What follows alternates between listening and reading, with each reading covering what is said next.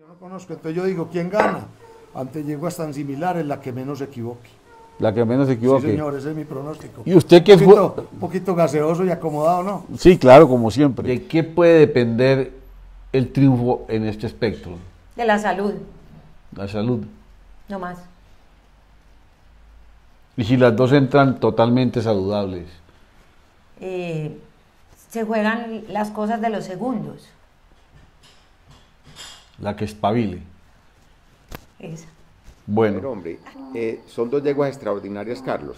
Entonces, cualquiera de esas yeguas, es que en, unas compet- en una competencia de estas, pues la que espabile le da la ventaja a la otra, pero son yeguas de distinto tipo.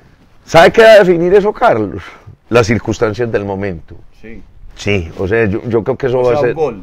O o sea, un gol en el minuto 90, y, eh, 90 tiempo, van 90 minutos, tiempo de descuento, y ahí va a haber un gol de una de las dos, o un autogol de una de las dos.